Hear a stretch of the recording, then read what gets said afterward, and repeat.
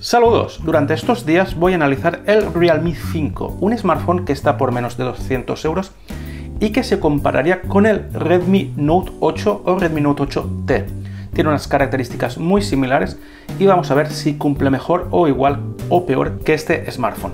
Como sabéis, en el apartado descripción del vídeo tenéis un enlace por si lo queréis comprar y también tenéis un enlace a eBay por si queréis sacar también esta unidad. En el apartado comunidad tenéis también un post para que podáis preguntar cualquier cosa que queráis sobre él y los responderé en un próximo vídeo, ¿de acuerdo?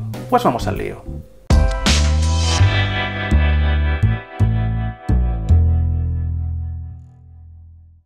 Pues vamos a abrir la caja.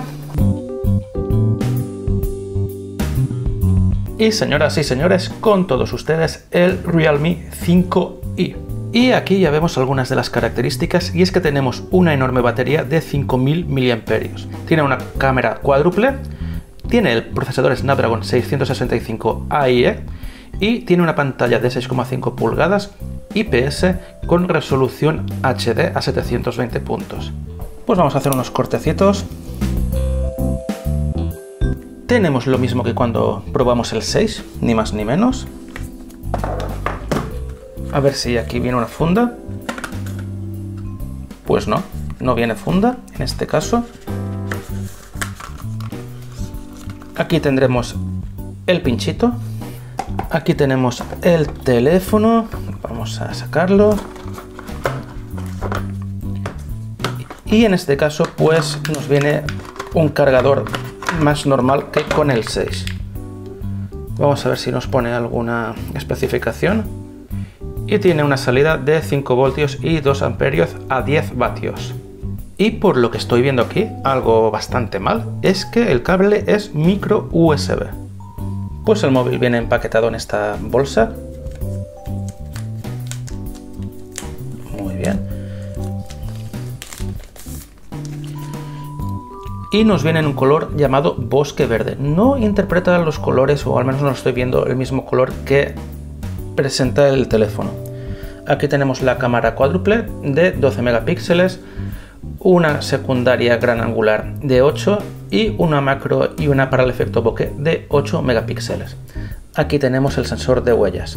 Y vamos a quitar este plastiquito ya que está aquí.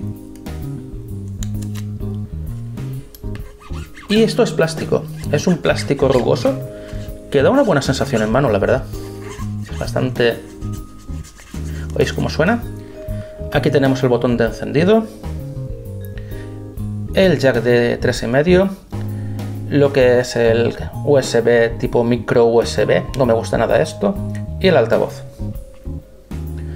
Aquí tenemos pues los botones de volumen que se ven bastante sólidos y bien construidos. Y el porta tarjetas. Y mientras, y mientras enciende os voy a comentar algunas características más. Tiene 4 GB de memoria RAM y 64 GB de almacenamiento. La memoria es de tipo DDR4 y me imagino que el almacenamiento no será UFS. La cámara delantera para selfies es de 8 megapíxeles y tiene una batería enorme de 5000 mAh con carga reversible.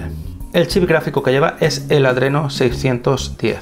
Algo que estoy viendo y no me gusta, pero no me gusta nada, es que no detecta redes Wi-Fi a 5 GHz lo cual nos ayudaría, nos ayudaría a conectarnos a canales que no estuviesen tan saturados y poner, sacarle más rendimiento a nuestra red Wi-Fi. Pues ya he configurado lo que es el sensor de huellas y el reconocimiento facial, que también tiene. Y veo que tiene ya algunas aplicaciones preinstaladas, algo que no me gusta y no debiera ser así. Algo que estoy viendo que no tiene es para poner un fondo oscuro, algo que siempre me ha gustado y debería de incluir porque, por ejemplo, el Realme 6 que probamos anteriormente sí que lo incluía. Otra cosa que no me gusta, pero me imagino que se solucionará en breve, es que aún viene con Android 9, algo que ya no debería ser así, porque deberían ya estar pues con Android 10, la última versión de Android. Y cuando he ido a la opción de actualizar, pues me sale que el teléfono está actualizado. Bueno, pues ya os iré comentando más a lo largo de estos días. Pues ya has visto que de inicio han habido algunas cositas que no me han gustado demasiado. Vamos a ver si son muy importantes o por lo contrario tampoco son importantes. Sabes que tienes en el apartado comunidad un post para preguntar cualquier cosa que quieras sobre él y tienes un enlace a Amazon y a eBay por si lo quieres comprar en la descripción del vídeo, ¿de acuerdo? Pues como siempre te agradezco el me gusta que cuando te suscribas actives la campanita y si lo compartes con tus amigos y redes sociales, pues me harás un gran favor, ¿de acuerdo? Un saludo.